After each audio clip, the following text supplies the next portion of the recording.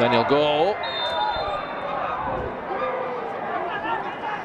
What Doesn't look like the ball has actually yeah, exactly. crossed the line. I think it might be a handball actually. Maybe it's a free kick for Tampines Rovers. Let's have a closer look at this, Shasi. Yeah, I think the ball didn't cross the line at all.